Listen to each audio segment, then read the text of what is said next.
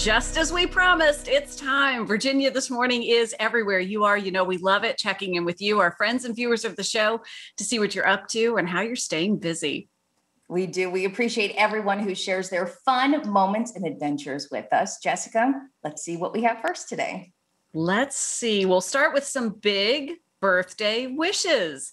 Happy birthday to Reagan Capri of Chester. Yesterday was her 10th birthday her Aunt Darlene sent us these photos to help celebrate. This is so fun. I saw this one come in, Evan, and just what a special celebration this week. Yeah, 10 years old. And I love seeing that collage of photos where you got to see Reagan throughout the years and see the, the cute young woman that she's becoming. It's great to I see know. those photos and hope she had a great birthday yesterday with lots of deliciousness, crepes or cakes or whatever it was. I hope we had a great celebration, Reagan. yes. Thank you to Darlene for sending that one in to us.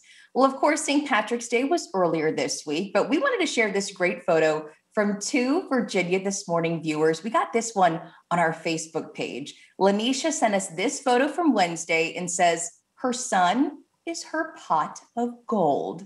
How cute. Love their green shirts there for St. Patrick's Day. And I just thought that was such a sweet photo and a sweet sentiment. Absolutely. Lanisha, thank you for sending that one in. And definitely your son's the pot of gold. And we struck gold, really, because yes. you shared this picture with us. So thank you for that. It's hard to believe St. Patrick's Day was already has already come and gone this week. I just my Came mind is boggled. Yes. Flew by. Yes. Flew by. It sure did. But that one's a great picture, Lanisha. Thank you for sending that one in. And speaking of earlier this week, we showed some photos. Virginia This Morning viewer Carrie shared with us from a walk through Dorey Park. Well, this batch of photos is from Carrie's recent walk around Belle Isle in Richmond. I love the tree roots. That was really cool.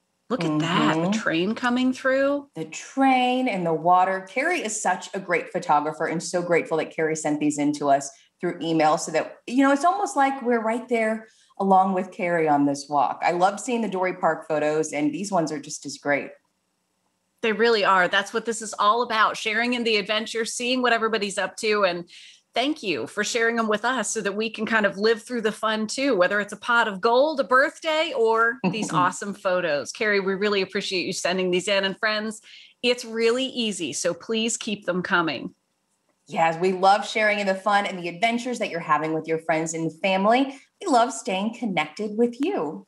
We sure do. We remind you, please send us a video, a picture, or a comment to our Virginia This Morning Facebook or Instagram page. You can email us directly, Virginia This Morning at WTVR.com. And it's a big weekend, so there should be more coming in over the weekend. Keep us in mind no matter what you're up to. Can't wait to see those. Well, get ready to enjoy a day of outside fun with your four legged friend. The 19th annual Dog Jog and 5K Run will kick off today and continue through this Sunday. You can participate at Henrico's Deep Run Park or anywhere you'd like.